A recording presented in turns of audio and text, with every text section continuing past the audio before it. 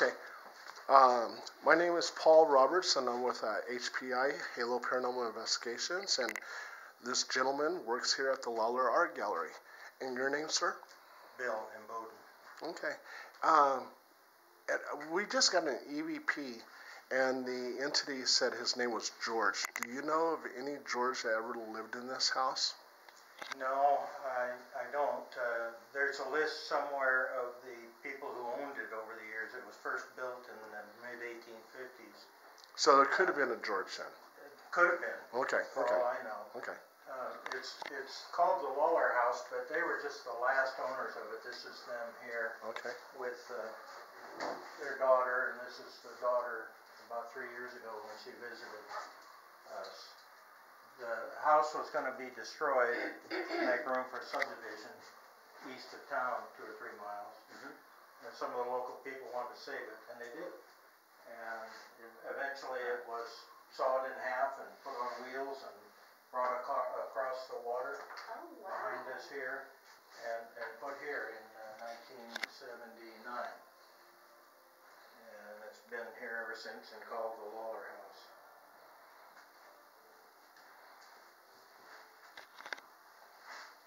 So there's a lot of history here. There is. uh, I know a fellow who worked for the Lawlers when they operated it as a ranch. Oh, really? And uh, he was, he worked for them for about 10 years. Uh, He said they, they, they used it as a weekend, summer kind of a place, and they used to throw big parties, and he said a good time was had by all. He also said that twice he had to help paint it by hand with a paintbrush, the outside of it. Now, as old as this house is, it probably has lots of history. And with that history, has anyone ever passed away in this home? I can't answer that. Okay. I don't know it well enough. Okay, okay. Okay. And most likely there was a lot of residents here. There was, uh, it was owned by, over the years, uh, I'm trying to remember that little card with the owners on it. There, there must have been, there was four to six different families that owned it for Wow. periods of time and lived in it. Huh. And It was more or less continuously used from the mid 1850s until they moved it, well, until just before. It, it was abandoned by the contractor and it was being vandalized. So at the end, some of the local people moved out there with their RVs and camped next to it to keep people, vandals away from it. And Deanna picked up uh, uh, spirit activity in one particular part of the house, and that's where we got an EVP that said George. And possibly a George could have lived here, visited here, hung out here. Who knows? There must have been hundreds of people that Yeah. did those things. Yeah. Right. And just for the record, we're not part of the art gallery. This is a separate. Oh, I see. Oh, look, the nurse section of the. Yeah, this is, this is about Suisun Wow. Ontario, and that's about the rest of the valley. Holy cow.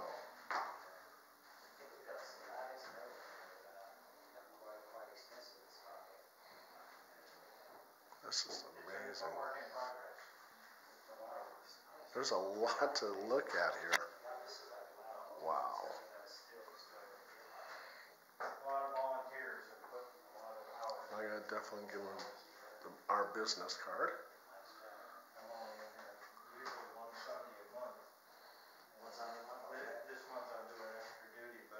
look around when I come in because There's so much to look at here.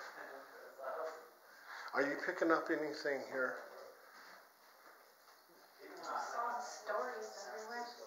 And I gotta ask you something. Last night, okay, you said Hypey, my dog, or yeah, my dog Corky, and then you. Okay, okay, okay, okay, okay, okay, okay. What happened? Well, last night was a full moon, and I was vacuuming, and then I went to go put the vacuum away in the garage, and all of a sudden I heard a dog crying at the garage door, like, like it was at the corner of the door, and I kind of knew it was a spirit. So I opened the door and put the vacuum in there and I saw a little white dog to the left do like a little quick twirl. And then when I closed the door, it was crying at the door again. And our dog Hypey, who's a mutant corgi because it's so big, he uh, does this thing where on metal door stoppers that look like springs, he like dings them with his paw to like signal us to like open doors and stuff. Well, a stopper on the garage door, he was pushing it and like listening real good at the corner at the door because he could hear the dog spirit crying too. And then Paul, after he was in the shower, and then after I showed him, he goes, "Oh, look right here where I saw the dog. That's where he died." And I never knew that because this is a dog he had before me. Pica. But the interesting thing is that our dog was actually trying to communicate with the other dog by dinging the doorknob stopper on the edge of the door. He was brave and intelligent, trying to communicate with the dog ghost. So I thought that was the cutest thing ever. Because there's lots of people, if they would have heard that, they would have went running. But our dog was right there. This happened last night. yeah. Yeah, our, our dog, and she picked up on Pica, which is my uh, Jack Russell Terrier that died in the garage. He died of uh, colon cancer. Oh, Yeah, yeah. Yeah, so anyway, Hype picked up on him, and Deanna picked up on it. It was kind of cool. I was impressed. I, I thought, you know, I was the one just hearing it, but the dog is it has psychic powers. He's like, Yeah. "Hell, is that-" Oh, yeah. Oh, yeah. He was so funny. You want to check out?